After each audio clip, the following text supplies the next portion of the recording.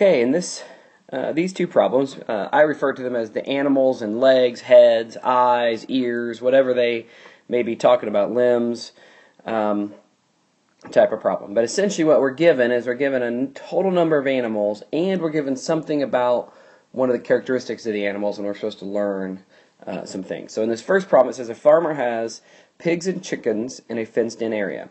If there are 20 animals and 68 legs, how many chickens are there? Well, we first have to realize that pigs have four legs and chickens have two legs. And so that's the key difference between the two. And the way I like to approach these problems is to first do one of the extremes. So for instance, we could say, what if we had all chickens? So if we had all chickens, that means that we would have 40 legs, 20 chickens times 2 legs. Now, obviously we need 68 legs, so that's not enough. So we replace one of the chickens with a pig, and so now we have 19 chickens, which is 38, and one pig, which is 4, and that is 42. And if you think about that a little bit, what happened is, every time we replace a pig, a chicken with a pig, we add two legs. Well, if we started with 40 and we need to get to 68, we need to add 28 legs, which means 28 divided by 14, or by 2, equals 14.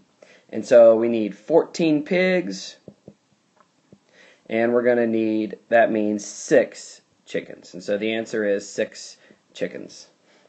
Uh, and number two, it says on Mars there are triads that have three eyes and pentiads that have five eyes.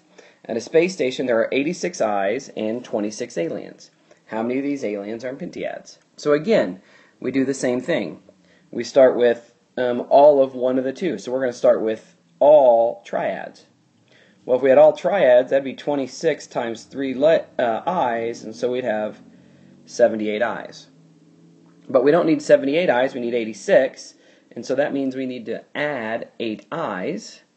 And so every time we replace a triad with a pentiad, we go from 3 eyes to 5 eyes. So that means we are adding 2 eyes. So uh, the difference is 8. So we do 8 divided by 2, which is 4, which means we need to add 4 pentiads. And so the answer to this question is 4 pentiads.